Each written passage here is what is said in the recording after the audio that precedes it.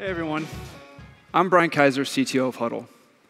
Hudl is a sports platform that helps coaches and athletes win with video and smart analytics. We got started about 10 years ago with myself and two partners coming out of the University of Nebraska Lincoln.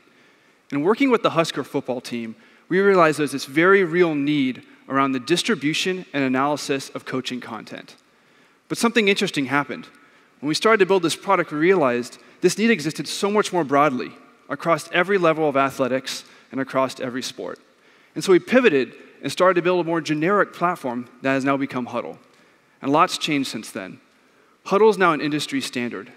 We work with coaches and athletes from around the world.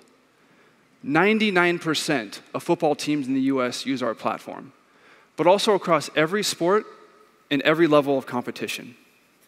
For example, all 20 English Premier League teams use our software, and actually 29 out of 30 NBA teams also use Hudl. So, what's a common workflow look like? Picture for a second yourself. You're a high school basketball coach, it's game day. You set up your camera, or maybe you film directly within the Hudl app. At the same time, an assistant coach or maybe a parent are actually taking stats during the game. Now, part of the magic of Hudl is during the game, this video and these stats are flowing up to our system in real time, being processed and synchronized together. So that when you step off the court as a coach, you have immediate access to both the qualitative analysis on top of your video, but also the quantitative analysis on the associated stats. You're able to make comments, notes, and corrections directly on top of the video and that data, and share it immediately out to your athletes for coaching. Now, we've been incredibly fortunate to grow in the backbone of Amazon Web Services. We now have over 4.5 million active and engaged coaches and athletes on our Hudl platform across over 130,000 teams worldwide we actually catalog and serve over 2 billion unique video files on S3 and CloudFront and service over 10,000 requests per second through our public API. And these numbers are just growing rapidly. In fact, during our fall sports season, we actually ingest and encode over 35 hours of video per minute into our platform, thanks to the scalability that Amazon offers us. Now, I'll be honest with you, I'm a pretty big AWS fanboy. It's probably pretty clear for me standing up here. And we've been on them since basically the very beginning back when it was just S3 and EC2. Nowadays, we use over 20 services broadly across the entire platform and across all of our clusters. And we can really attribute a lot of our success and our scale to Amazon Web Services, and I truly believe that. I'd like to walk you through two examples of how some recent Amazon services have really had a large impact on the business side of our company. So, we dealt with a problem that I'm sure a lot of you can relate to. We want to make smart, data driven decisions but it was challenging. We have so many disparate data sources, right? We've got our billing data in Zuora, we have our customer service data in Zendesk, we have multiple analytics tools, internal audit log and tracking, and it was hard to bring it all together. So we started to develop an internal data warehouse on top of Hive. Right around that time, Amazon released Redshift, and we thought, you know, let's give this a go. We'll give it a try. Honestly, we were blown away. We found that it was faster, cheaper, maybe most importantly, it was more accessible to our company. Honestly, it's been one of the most successful deployments internally that we've ever done. When I was prepping for this presentation, I pulled some internal metrics. I found that over 50% of our 450 employees had actually written and run queries directly on top of Redshift themselves. 50%. That's truly making data analytics available to everyone, and it's changed the way that we do business in such a positive way. Another challenge that we dealt with was dealing with player tracking data. Now, this data is incredibly valuable to our teams, but it's tricky. It's large, it's very dense, it requires a lot of processing and smoothing before we can use it in visualizations and machine learning systems.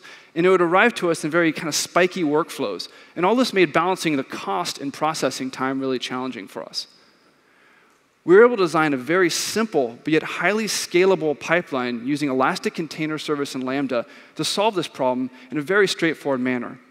One of the things that I found really interesting about this was actually using Lambda as this sort of feedback loop where we can look at the output of the pipeline, the processing time, the queue length, and many other factors and adjust the cluster to help balance those two constraints that I talked about. It's really been an impactful change for us in how we view processing large amounts of data. So, what's next for Hudl? We have a very lofty vision. We want to capture and bring value to every moment in sports. And we truly feel like we're uniquely positioned to do that and bring analytics to everyone.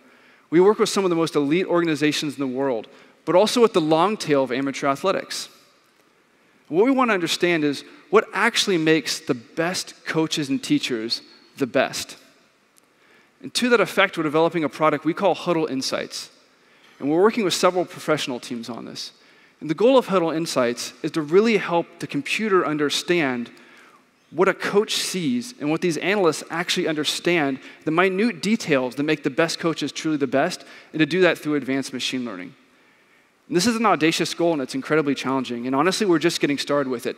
We're seeing a lot of early success. And so I'd like to kind of walk you through how we're using Amazon to do that and some of the inputs into our machine learning system.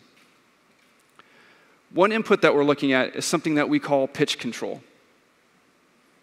Pitch control is a view of the soccer field that takes into account things such as player position, ball position, velocity, and even actually individual characteristics of the athletes, such as their acceleration, reaction time, and top speed of each individual athlete, into giving this holistic view of the soccer field that really helps the computer and the analyst understand open space and compactness.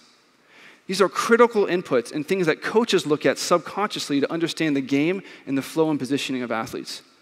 We even allow the analysts to do what if scenarios, running simulations about moving players on the pitch and understanding the impact of those movements. Another piece that we're using is something we call pass probability map. This is a really interesting view where at any given moment in the game, we can look at what the potential passing opportunities are, what their outcomes would be, and simulate them. This is another one of those views that's really important to give teaching back to the athletes and understand missed opportunities and ways they could further advance the possession with different passes. We have a long way to go, honestly, and our eventual dream is to bring this to all sports at every level of competition. We truly feel that it's an exciting time for sports analytics for Hudl. Thank you all and enjoy the summit.